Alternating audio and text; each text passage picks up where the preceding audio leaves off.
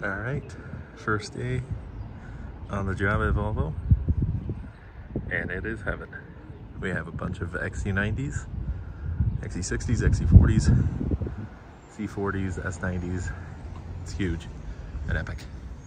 This is it, everyone. Welcome. My name is Michael, and today we're discussing about selling my dream brand. We're sitting in an XC90 right now.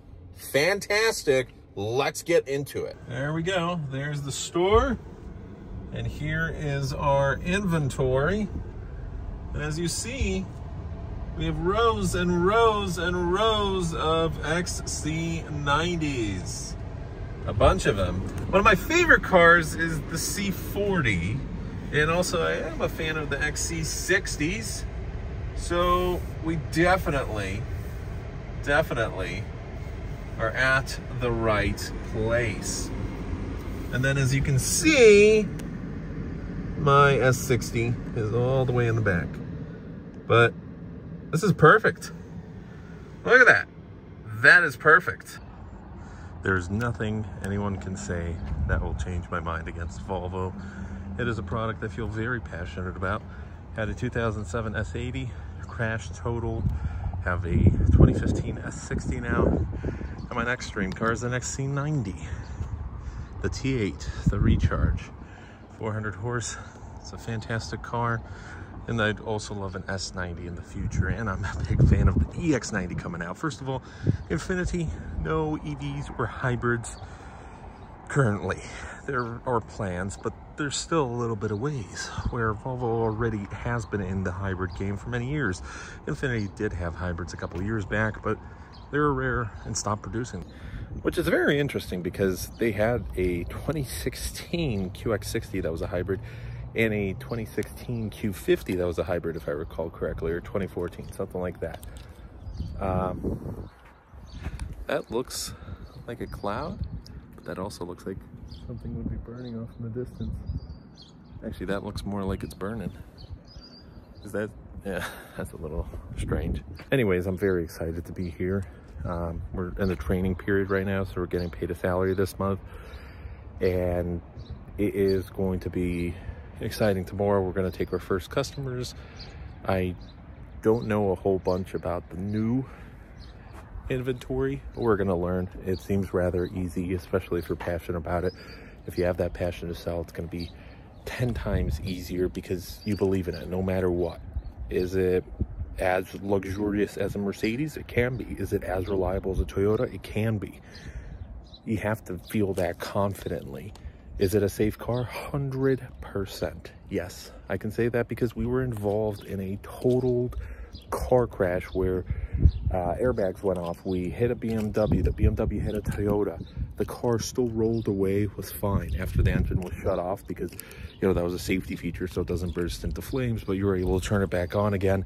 Cracked windshield, airbags deployed, um, there was uh, front bumper damage. There was panels that were damaged, but it, it drove just fine. And I still drove it without repairing it for the next couple months. And, and we were driving it a little faster than we should have and more miles than we should have. But it, that that proved to me that even back then, a 2007 Volvo S80, I truly believed I saw videos where Volvos were hit by trucks back then and people survived. Everything was fine. I truly believe that if a truck hit me in that car, yes, at the proper angle, at the proper speed, no matter which car you're in, probably fatal. But I have definitely a better chance than sitting in a older Toyota. And I've driven Toyotas as well. I've had Fords. I've had uh, various vehicles that I didn't feel as safe or as comfortable in as a Volvo. And it, it's not the same repair cost as a Mercedes, Audi, Porsche. Yeah, they're exciting. They're fun sports cars, but Volvo's not trying for that segment. It's a very niche segment. Wow, that is 100% burning. Yeah, 100%. I'm curious what that is. We'll check it out because we're extending now. We'll check it out. But anyways, I'm pumped. I'm pumped about this because I see there's great potential to earn a lot of money. We could get out of our debt here. Um, and it should be relatively easy. I think we have a great opportunity here. Team's great so far everything seems like this is the perfect store. And out of all the Volvos in the location, this one's great for my ears. it's not it's not loud at all. Whereas at the Infiniti store, you had ambulances constantly. This is awesome. I'm, I'm very excited. I'm very happy. I'm gonna share the next steps in the journey. Finally, some positive news. So the craziest thing just happened. I am low on fuel. I don't have fuel, and I did a Uber Eats delivery that was on the way to the gas station, super cheap gas station. Woodman's love it because it's right next to one of the cheapest and largest grocery stores in Illinois, and I love it. But I withdrew twenty dollars. I went to the pump.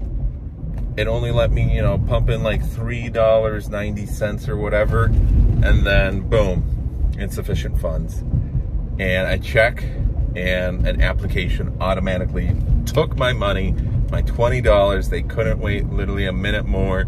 I needed fuel. I need fuel because I'm not going to get home at this point. It's crazy. And I keep having to, you know, pick up fuel, uh, pick up money from Uber, DoorDash, whatever after work or on my day off, like today, Sunday, just to be able to pay for fuel because I, I, I keep driving on E because I never have enough money to, to be able to pay for anything. And now I need to put oil in my car and can't even afford the the I have nothing, not even a single dollar, a single dollar on any of my accounts anywhere, anything. I mean, I'm just selling what I can at this point. Yesterday, I sold a vinyl record for 15 bucks. I had it for like six, seven years. Finally, someone someone gave uh, gave it a go and uh, bye bye vinyl record. That 15 bucks went into the gas tank, and that's why we were able to do Uber DoorDash today. But um, that application was one of those, you know, payday apps, whatever. You needed $30. It's not paid off. I can't take out anymore. And I couldn't send it to my other bank account because I have other applications that I haven't paid.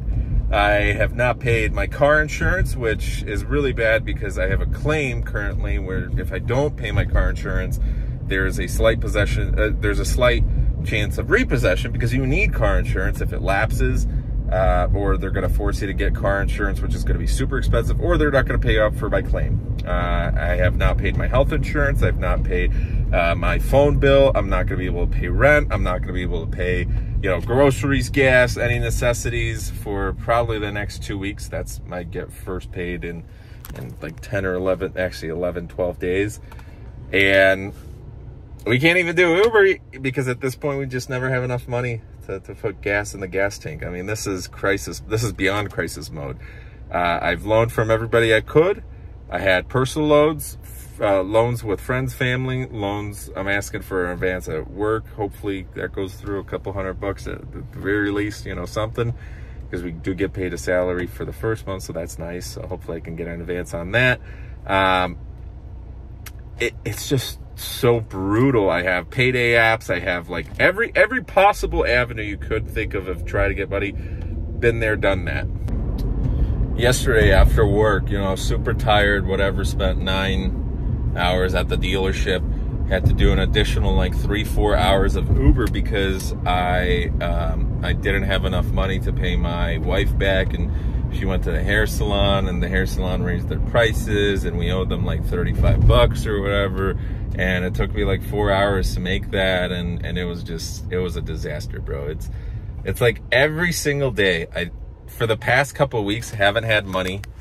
My like there's a bunch of bills that are going unpaid and it's not like oh i can pay some no i just i've got nothing. I've got nothing really left to sell uh, besides a bunch of boxes of hats, which I, I mean, the only offer I got right now is 80 bucks, but I spent over a thousand dollars for, if I recall correctly, I mean, something like that. Um, there's a bunch of these hats where I gotta sell them, which, by the way, I'll show you guys. So, yeah, I'm trying to, I, I think I'm just gonna head to the beach one day and just try and sell them there for five bucks a piece because there's 600 hats and they're, they're very nice hats. It's just um, in Chicago, you need a peddler's license, which costs $169.50. Obviously, I can't afford that, and I can't afford getting a ticket. And it's like, I, I've never been in such a position where my my credit has drastically dropped. It was in the 600s, approaching 600s, whatever, depending where you look. Now it's you know, closer to 400 in the high 400s than, uh, you know, it's, it's low 500s, very low 500s now. So it's going to be high 400s soon at this rate because I just can't afford to pay anything. And, uh, you know, it's going to be better. I'm going to do everything possible to be a great salesman at Volvo. It's the only opportunity I have right now. I've got to sell as many units as I can. I've got to beat everybody else because nobody else is in a position like I am at the dealership. Nobody. Because most normal people aren't in a position like me where, where you have nothing. There, there's nothing to turn to. There's no help I can get. Like, oh, hey, here's a loan of 5000 10000 No, there's nothing. I had to, oh yeah, I had to do, uh, I had like $5,000 of loans due. I did extensions, but I got to pay the interest.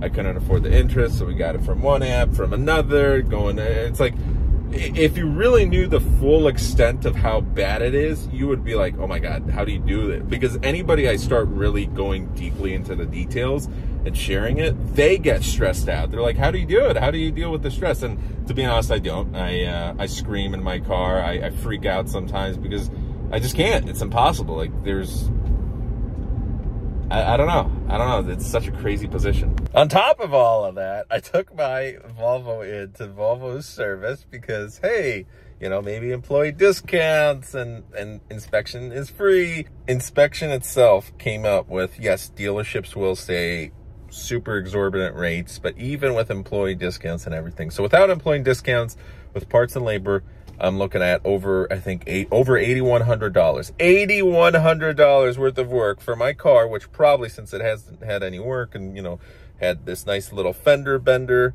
Uh, I don't think I actually posted that on, on the YouTube video yet. But yeah, I had a fender bender in Chicago from me literally parked and a guy that was inebriated. He, it wasn't my fault. He hit my car. So it's just going great. You know, life's really, really great. So my car that's probably worth like 8,000 bucks right now needs $8,000 worth of work, but uh, at employee rates, it's probably like 7,500, 7,000, I don't know, whatever. Uh, I'm just going to order the parts myself and eventually when I get money, I need to put oil in mine. I need an oil and filter change, but I can't afford that. I, I literally can't afford like anything. Five dollar oil and filter change? Nope. If you if you did it for 50 cents, maybe I could scrounge 50 cents somewhere. But uh that's how bad it is. And this car is just it's it's all reliable. It's still working, still driving. Needs front struts, needs brakes, rotors, they're warped. Like brakes in the back are at one millimeter. it is great. This is our second summer we're driving with winter tires, so the tire tread is going down and it's uneven wear. It could also be uneven wear because the front struts are going out or something. I don't know. It needs power steering, needs fluids replaced on pretty much everything because I haven't done anything except oil and filter change because I never could afford it. And it's not like, oh, this is a super expensive car. No, I mean, it, even the $2,000 Toyota I had needed work done that I couldn't afford. So no matter what car you gave me, if it was a $500 car, in Poland I had a $600 car, couldn't afford that. I, I literally couldn't afford it. I don't know, man. It, it's it's been an interesting downfall going from making 100k when you're 19 in a country where it's super cheap to live in to to to this. It's it's a nightmare, but we're gonna get out. I hope. Okay, so check that out. So cool. It's just sticking out. Rad. That's awesome, man. Thanks for watching. So no matter what happens though, there's nothing, nothing that is in my mind telling me, you know what, Volvo's a bad choice. There's so many other opportunities out there. No, I feel confident about this. I feel this is the right choice. I feel good about it. I feel great driving this car. I feel great at the dealership. I think this is the opportunity you've been waiting for. It's just, it's going to be tough. It's going to be tough because even if I won the lottery right now, you know, it, unless it was a huge amount, then uh, nothing, nothing, no normal solution is going to save us. We need to work hard and it's going to be a couple months, but I have a good feeling it's going to get better. So that's good. So we just took a test drive in the XC40, the electric, the recharge. And here's one of my favorite vehicles on the lot. Too bad that there's so few of them. An S90. What was previously the top trim. The inscription is now called Ultimate. And then the back, this is a perfect Uber black sedan. check that out. Except it's not, well, black on the exterior, but if it was, it'd be perfect. One of my favorite is the crystal dials. And the rims look very nice as well. My aunt and uncle have an S90 and it's not a Inscription. They have an older one. Uh, I believe they have a Momentum, but it's still a very, very nice car. And this is definitely a dream next to the XC90 T8. Gorgeous, gorgeous cars. XC60s, XC40s, and the XC90. This one's a very nice color, kind of like a brownish bronze, but very nice. It's just such a cool and classic timeless design. I love that. But I remember seeing these S90s and the XC90s in Poland, and over there it really was a treat. This is the Harman Kardon. I would take the Harman Kardon, or even better, the Bowers and Wilkins. That is a dream right there. Look at that trim. Oh, that's very, very nice. But you honestly, similar as my S60, nice crystal mirror. I love the little touch here, the Swedish flag, and it is one of my favorite cars to have seen in Poland. You know, take it to Ikea, relax there, get some Swedish meatballs. Honestly, that was a treat for us. Always, always we would go to Ikea, get some Swedish meatballs. Ikea is so much better in Poland than in Sweden than it is in America, but still it is a a really, really fun afternoon to be able to take something like this and just relax. And there's so much to go over. There's so much for me to learn here, but this one is almost fully loaded. I think it's the SC90, uh, S90L. You got plenty of space in the back, but it is the S-Class from Volvo, essentially. It's not supposed to be the fastest. It's not supposed to be the most luxurious, but it is a great car and I'm very excited to be able to learn about these vehicles and hopefully sell a bunch of them. S90s not so much because they're not as popular in America, but the XC90 for sure. It's it's just such a treat. This right here is one of my favorites. Look at that. I'm six foot three and I'm able to adjust similar to an S class or a 7 series the front passenger. I've got my ashtray for, of course, my cigar. If I owned this car, I think I seriously would just chill in the back. I'd go to a parking lot and smoke my cigars in peace. You know, put a little bit there. And then one of my favorites, boom, we adjust it. We click it again. We can adjust this. We can open the window again honestly feels very luxurious in here. Close that back up because we want that sunshade. And then one of my personal favorites, also, you don't see this many times, 7 Series and the A8 and the S-Class.